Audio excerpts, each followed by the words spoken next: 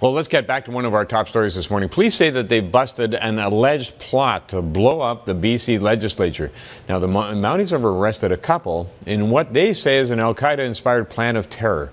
So, for more insight and information, we're joined by our international security expert, Alex Holstein of geopolitical.com. Alex, a long time no see. Good to see you again. How are you? Good to uh, see you. Uh, bad circumstance to have to talk to you. I mean, domestic terrorism. Yes, but in this case, stopped before it happened, which is a good thing. And uh, congratulations to RCMP and the Canadian uh, Security Service, the CSIS, uh, for, for stopping this attack. Okay, they say they were in tight control of the bomb, bombs, and that's why it didn't happen. Mm-hmm. How? I mean, these were pressure cooker bombs, yeah. very much like I guess what was happening in Boston, made of everyday things like nails. How do you have tight control? Well, they could be referring to the type of surveillance that they had on the uh, on the suspects at that time. Uh, at the time of the plot unfolding, uh, they could have they could have had a very tight surveillance net around them, been ready to bust them at any time they saw those bombs bombs going into action, so to speak, or being moved or staged, so to speak. Um, the other thing is they might have even been uh, controlling the actual equipment being sold to them. Who knows? I mean, if uh, there was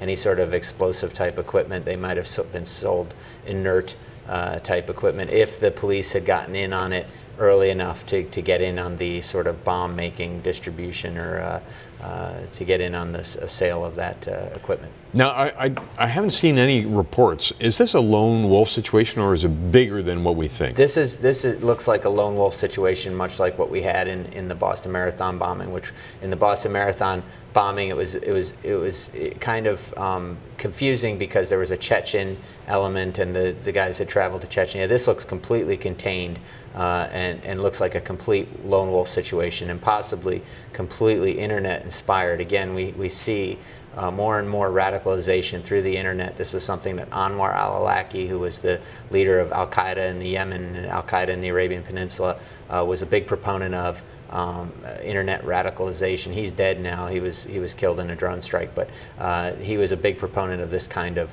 uh, radicalization. And it also shows, though, Pat, importantly, that Canada is not immune to uh, terrorism, lone wolf terrorism, or any kind of terrorism. It is a target. You know, you don't really. I, I, don't really concern myself with the motivations of people like these retail terrorists at the at the end, uh, sort of of the of the manufacturing line. They're they're the they're the guys that go out and do suicide bombings. I care more about the core. I care more about wholesale. I care more about the motivations of people like Ayman al-Zawahiri who run Al-Qaeda Core or the Anwar al-Awlakis.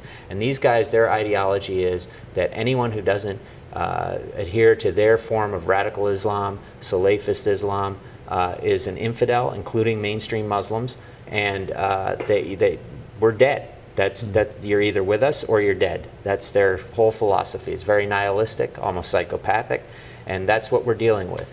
If they're spreading the message out through the internet, I mean, we've got all this controversy about uh, surveillance happening, for instance, down in the United States with the National Security uh, Agency there and, and, the leaks that came out. But mm-hmm. I mean, mm-hmm. here might very well be a case where they're monitoring what's happening on the internet to find out and to foil this kind of a plot. Yeah, especially since it's two foreigners. I mean, the NSA, this is the, just the type of case in case these guys were planning a cross-border attack, that the NSA would be looking at two foreigners, Canadian citizens in this case, operating on foreign territory. This would be within the spectrum of a FISA warrant uh, like the NSA had for other cases where they would use that larger scale data, that metadata of just a list of telephone numbers, which is all they had, uh, and matching it to uh, known terrorists, foreigners, uh, numbers, and cross referencing and using that to pinpoint uh, connections and connect the dots and stop uh, terror attacks. It's very damaging what Edward Snowden did uh, to our counterterrorism posture in the United States.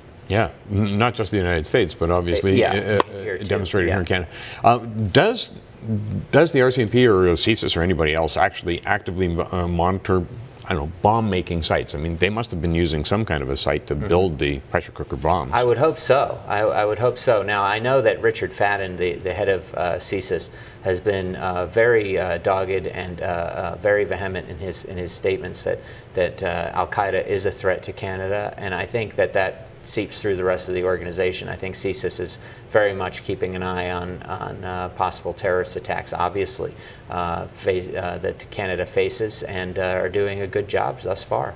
Okay, now these two people are in their late 30s, late 20s. I mean, what do people uh, need to look for? The average citizen need to look for in terms of you know, seeing these things red flagged mm-hmm. overall? Can well, we help? Can yeah, an average I mean, citizen help? There are ways. I mean, one of the ways is, is if you see, you know, someone buying uh, what, you know, the types of materials one would use to build an ANFO bomb or a pressure cooker bomb. I mean, and, on the small scale like this, it's hard to spot. But, you know, the Timothy McVeigh type comes along and starts buying a, a, an incredible amount of ammonium or whatever that goes into an ANFO bomb. Uh, that, you know, the person selling it to him might, you know, might think twice and then give a call to the FBI or in this case the RCMP. Okay. Alex, good advice. Thank you very much. Great to have you back. Cheers. Alex Holstein, uh, counterterrorism uh, expert of geopolitical.com.